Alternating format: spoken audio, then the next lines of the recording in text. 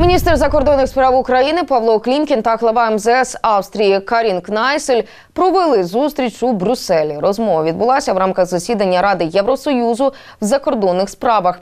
Присвятили його агресії Російської Федерації у Карчунській протоці. Під час зібрання українська сторона запропонувала європейським міністрам декілька типів санкцій проти росіян. За словами Клімкіна, попередньо колеги схвалили ці обмеження, однак вони потребують більш детального узгодження.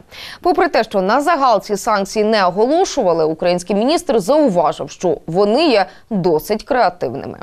Я запропонував е, своїм друзям і колегам декілька типів санкцій.